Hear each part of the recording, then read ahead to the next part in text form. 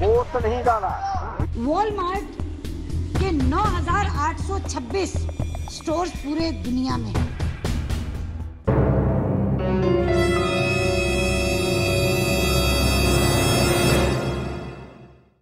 Walmart कारफोर और metro जैसी विदेशी कंपनियाँ भारत में एफडीआई के नाम पर कर रही हैं रिटेल का कारोबार। भारत सरकार ने फरवरी 2006 में होलसेल में विदेशी कंपनियों के लिए निवेश 50 परसेंट से बढ़ाकर 100 परसेंट करके विदेशी कंपनियों के लिए होलसेल बिज़नेस के दरवाजे खोल दिए। कैश एंड कैरी और बिज़नेस टू बिज़नेस पर आधारित अमेरिकी कंपनी वॉलमार्ट जर्मन की कंपनी मेट्रो और फ्रांस की कंपनी कारफोर को देश में 100 परसेंट निवेश की अनुमति इस आधार पर दी गई कि ये कंपनियाँ देश में रिटेल का कारोबार नहीं करेंगी।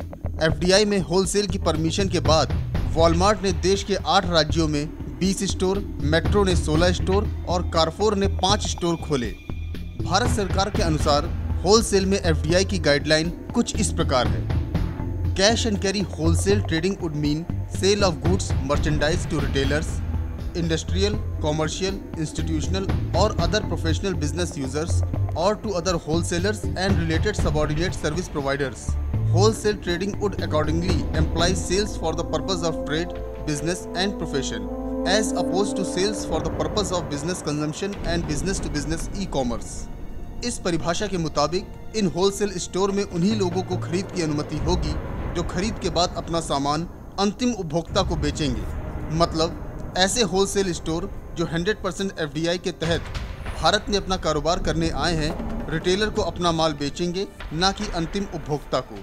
एफडीआई कानून के मुताबिक रिटेलर वह होगा जो होलसेल से माल खरीदने के बाद उस माल को आगे व्यापार या बिक्री के लिए उसका प्रयोग करे।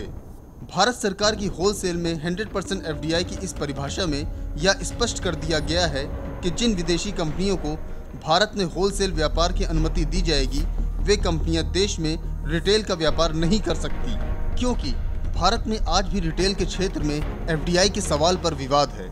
इस पर तर्क ये है कि अगर रिटेल में एफडीआई आ जाती है तो भारत में देशी खुदरा व्यापार समाप्त हो जाएगा और इसके कारण बेरोजगारी बढ़ जाएगी।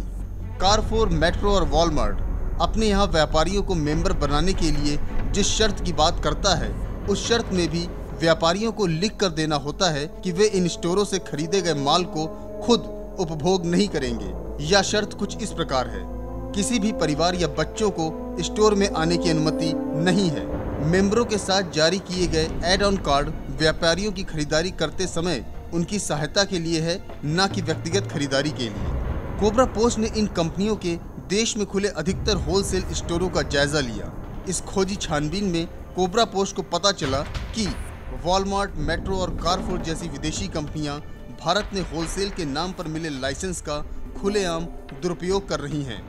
ये विदेशी कंपनियाँ होलसेल के नाम पर खुलेआम देश में रिटेल का धंधा कर रही हैं।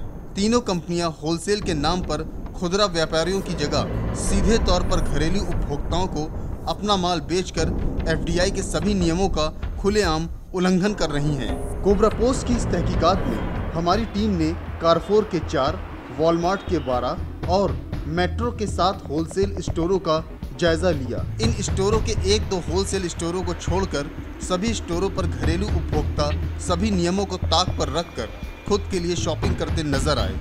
वॉलमार्ट मेट्रो और कारफोर जैसे होलसेल स्टोरों का जायजा लेने के दौरान कोबरा पोस्ट की टीम को अधिकतर खरीदार घरेलू उपभोक्ता मिले। इन तीनों विदेशी कंपनियों के होलसेल स्टोर अपने यहाँ एक साथ सौ उपभोक्ताओं को भी रिटेल कराने के लिए तैयार दिखे। इन कंपनियों के स्टोरों पर मौजूद अधिकारियों ने यह दावा किया कि यहाँ लोग पर्सनल खरीदारी करते हैं। इनके अधिकारियों को इस बात से कोई लेना देना नहीं है कि आप बिज़नेस के लिए खरीदते हैं या घर के लिए। इन तीनों कंपनियों के कुछ अधिकारी तो रिपोर्टर के लोगों को खरीदारी के समय स्पेशल ट्रीटमेंट देने की बात भी कहते हुए नज़र आए।